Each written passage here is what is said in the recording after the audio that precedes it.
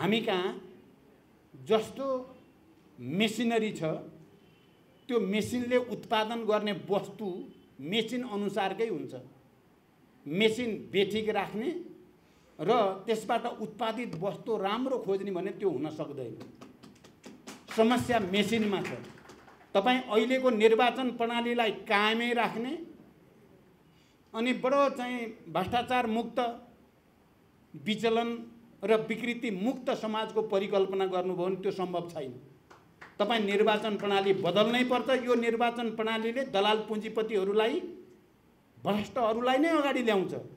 जति गरे पनि थाहै नपाइकन पार्टीलाई नेतालाई पनि भ्रष्टीकरणतिर लान बाध्य पार्छ यो मेसिनरीले। चुनाव जित्न पैसा चाहिन्छ। पैसा दलालहरूसँग हुन्छ नोकरसाहरूसँग हुन्छ ठुल्ठुला पुँजीपतिहरूसँग हुन्छ।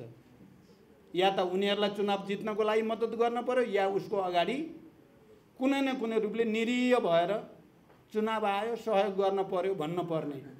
भएपछि अनि क्रान्तिकारी कसरी हुन्छ? रूपान्तरण कसरी हुन्छ? अनि हाम्रो शासन प्रणाली जस्तो छ सांसद प्रधानमन्त्री हुनको निम्ति सांसद हुनै पर्ने सांसद नै मन्त्री हुने प्रधानमन्त्री हुने हाम्रो जो सिस्टम छ यो सिस्टमले पनि जगैदेखि भ्रष्टाचारलाई संस्थागत गर्न मद्दत गरेको छ। त्यसकारण यसलाई अन्त्य गर्नको लागि कम्तीमा पनि जनताद्वारा प्रत्यक्ष निर्वाचित कार्यकारी प्रमुख र त्यो कार्यकारी प्रमुखले आफ्नो भिजन अनुसार देशलाई पाँच वर्ष म यसरी लान्छु भन्ने भिजन अनुसारका मन्त्री बनाउन पाउने अधिकार भयो भने मात्रै भ्रष्टाचार रोकिन्छ। अन्यथा तपाईँ हामी जति चिल्लाए पनि जति कराए पनि जति उब्रे पनि यो मेसिनरी रहँदासम्म यो मेसिनरीले भ्रष्टाचारै उत्पादन गरिराख्छ भ्रष्ट मान्छेहरू नै उत्पादन गरिराख्छ। चुनावपछि म यो प्रणाली बदल्नको निम्ति सडकमा जान्छु।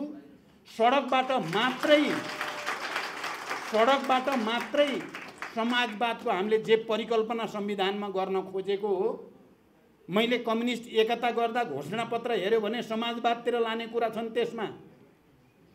जे सपना देखेर मैले वामपन्थी एकता र कम्युनिस्ट एकता आवश्यक छ भनेको हो त्यसलाई प्राप्त गर्न अब एकचोटि फेरि र यो मेसिनरी बदल्नको निम्ति यो निर्वाचन मेसिनरी र यो शासन मेसिनरी बदल्नको निम्ति जनतामा जानुको कुनै विकल्प छैन।